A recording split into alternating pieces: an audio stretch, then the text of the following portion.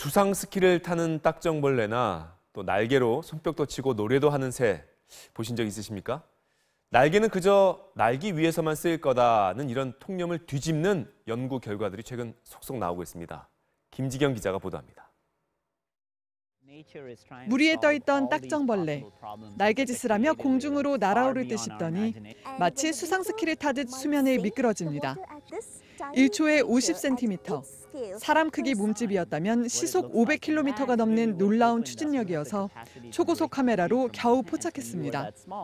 물과의 마찰 때문에 힘은 더 들지만 수면의 먹이를 탐색하고 접근하는 가장 효과적인 방식으로 날개가 진화한 걸로 분석됐습니다. Here is an insect that has the capacity to really control its trajectories and locomotion at half a meter per second.